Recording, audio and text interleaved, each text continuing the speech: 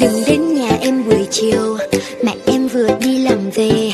Ba em thì hơi nông tính, Nên anh chớ có làm liều. Bực tôi đâu đâu cũng thấy lá cờ của Việt Nam đang dương rất cao. Tự hào đất nước của mình, rất đoàn kết như muôn ngàn sao. Chung tay hò reo thắng lợi.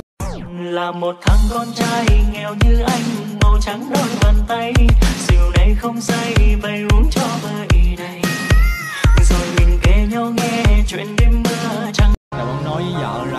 chính là vợ, là cục nợ đời anh. Còn anh chính là chồng, là cục nợ của đời em.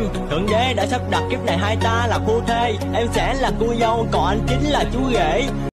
Ê nhỏ lớp trưởng. Có chuyện gì không nhóc? Tối thứ bảy tuần này bà có bận cái gì không? Cũng không biết nữa Có gì không nè. Thì tôi có hai tấm vé được người ta cho free. Nếu bà rảnh thì cùng đi sao Trần Cai trẻ Tuổi sinh năm 1994 Tên của anh là Nguyễn Thành Nam. Anh là một youtuber nổi tiếng, Đứng top 3 ở Việt Nam. Anh sở hữu được ba kênh youtube Có được rất nhiều lượt đăng ký. Kênh chính của anh là